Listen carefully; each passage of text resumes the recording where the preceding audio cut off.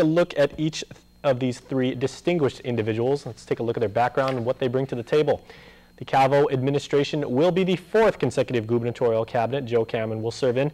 He served as director of the Department of Mental Health and Substance Abuse for Governor Joe Ada, the director of the Department of Vocational Rehab for the U.S. Department of Health and Human Services designated state health official, which is a quite long term, and the Social Security Administration Disability Determination Services Program Manager in the following administrations and director for Hagåtña Restoration and Redevelopment Authority. He was also the acting president of the Department of Chamorro Affairs and Emergency Support Function Lead for Mass Care and Medical Sheltering for Guam Homeland Security for Governor Felix Camacho.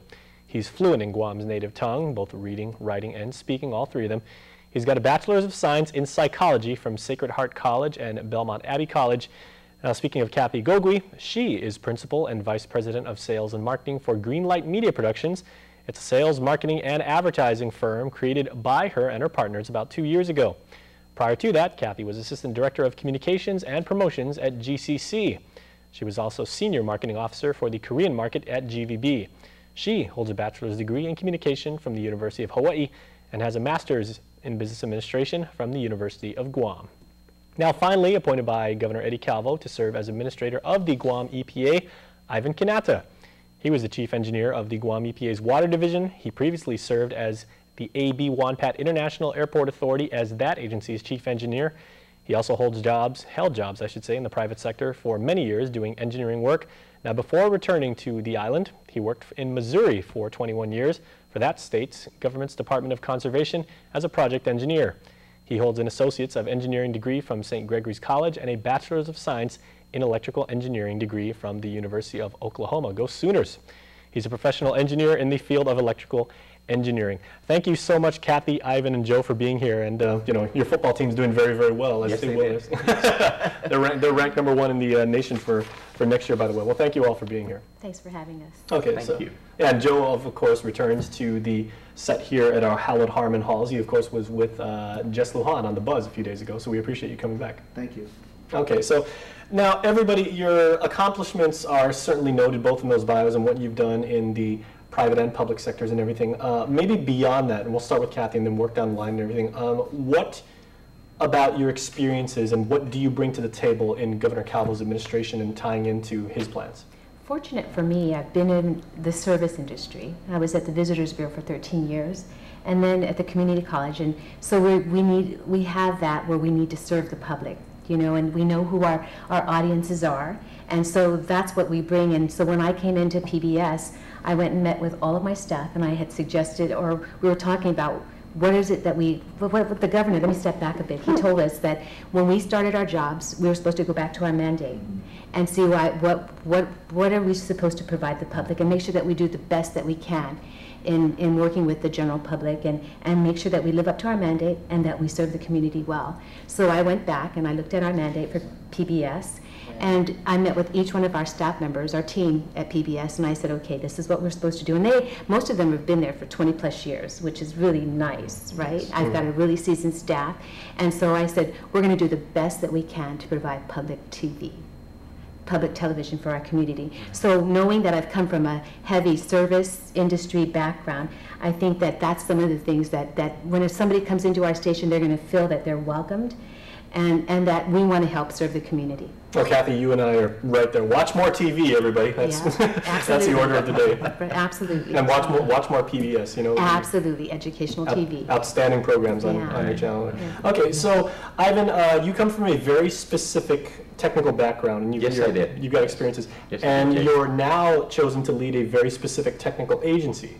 Yes. Uh, how will you seamlessly marry those two disciplines?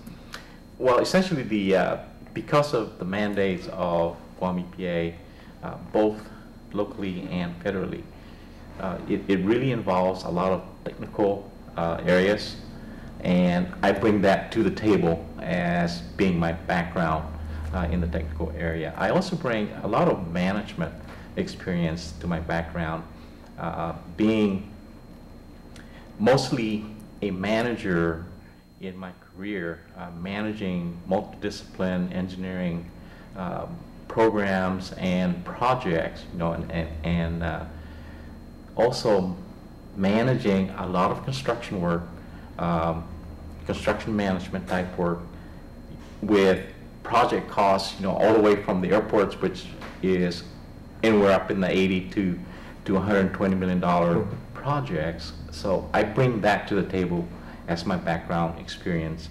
Um, when you're managing construction work and and other programs like that, of course, you deal with a lot of people, and you deal with people that have the same background and understand the same uh, problem and potential problem areas, so that we were able to communicate. Uh, the background of Guam EPA, the staffing at Guam EPA are all technically oriented.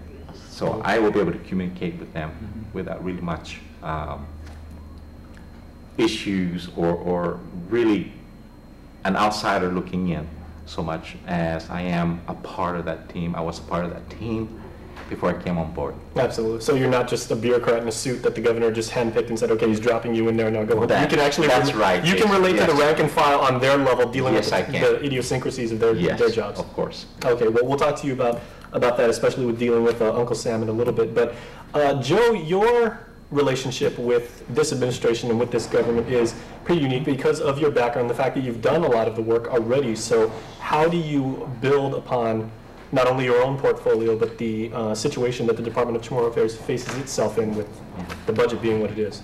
I think, I think one of the things that uh, Governor Eddie Calvo and Lieutenant Governor Ray Tenorio's marching orders to me was that, Joseph, we're going to put more on your plate. Uh, The Transition Subcommittee on Culture and Tourism has indicated that there's a need to marry entities such as Hagatna Restoration and Redevelopment Authority, which I was the executive director for, and soon to unveil the master plan for Hagatna's land use. And uh, that should be forthcoming very soon. As well uh, as the CAHA, the Council of the Arts and Humanities, is now under my direct administrative supervision. Now, marrying that with the culture, and, and an integral part of that also would be a more tacit communication with the Guam Visitors Bureau in their branding of the Chamorro brand to our visitors. And I take lead and, and, and pleasure that I was actually reared by my grandmother, Rita Calvo Artero. And Guahu na tauto, angin man, angin manasuzo, ane di patgunzo, hinasun samuru, pues ane muskwekweladzo, kada hava lek na gifno English isaina, lek u kikip comprending hava zu kumikalik na gifno samuru. How do I translate? Because I thought tomorrow, I didn't really think English. Hmm. Now, one of the things that really excites me more than anything else is I'm asking for the elders of Guam. Upapaisin na profan matu tati i tauto Guahan, ni profan halum tati gi metkau, the market. That market concept at the Chamor village is Sengsum needs to come to life again. And uh, I have started unveiling this morning opportunities, and the task chair for that would be Ben Meno from uh, Inalahan. And, uh, you know, Lola Nelson said to me yesterday, she says, Joseph, I like what you said with Jess Lujan, but that's a lot of words. You got to put some action. Pues ufapaisin ni man amku, ufapaisin todos hanzu, men man tomtum hanzu, spion penyu, zon kalaskas, zon aganzu, zon na informasyon ni tana kupri, tana ikutura, zani. I ask the general public who has an interest in this culture, bring it to the table, let's talk about it. It's been a sleeping giant for years, and I'm very excited about it. All right. Well, Kathy, Ivan, and Joe, thanks so much for your input. And stay tuned and stay put, everybody out there, because we will get to the meat and potatoes of our discussion, find out what these people have in store for your government when KUAM News Extra continues. Right